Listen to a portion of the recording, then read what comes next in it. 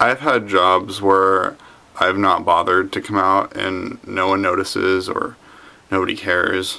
And for instance, a security gig that I did where I just knew everybody would have been really immature about it.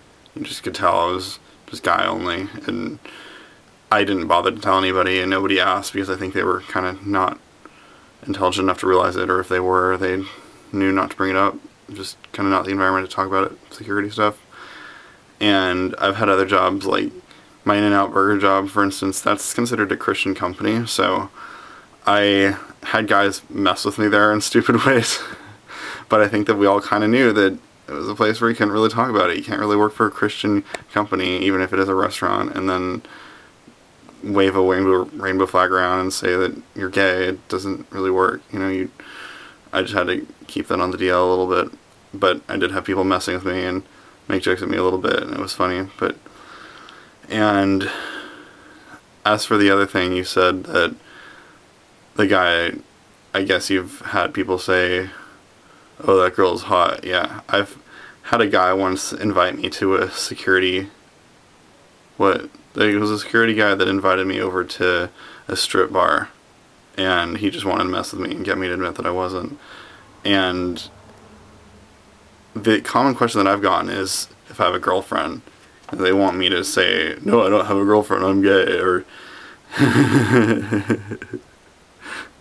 they try to get you to admit it or, or just see how you react or squirm and, and just develop suspicions and try to confirm them somehow in a way that they think is sly, but it's not really that sly. You really shouldn't be doing that anyway. and if they needed to, they should at least know you first. But these guys did not know me very well. But yeah, I think that coworkers are they're not always people that we're very personal with. Like we can be in a way, but we also cannot be in a way. And you know, you can be friendly with people, but not exactly personal or deep with people. And in my experience with coworkers is they're sort of just there. They might be fun, they might be cool, and, and you might have conversations with them, but I never felt close to my coworkers at all. I never really had that.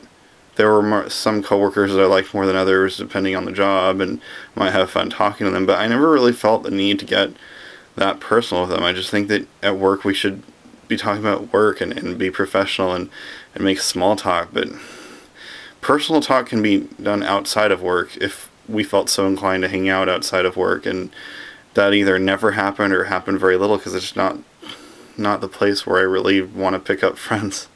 I don't think we need to tell coworkers at all. I've known gay guys that have told me that they've now never told any of their coworkers and they might work at the same place 10 or 20 or more years, but it just isn't necessary and they don't want to talk about it. And by then, I imagine they all probably know to some level, but if it's never been something that's been welcomed into conversation, then it's not something that they ever really felt like asking about. But and a lot of times with the gay guys that are a little more obvious, they just kind of know and they show that with the ways that they say things or don't say things or I mean they they don't really need to ask because they already know, but that doesn't mean that they they really talk about it either.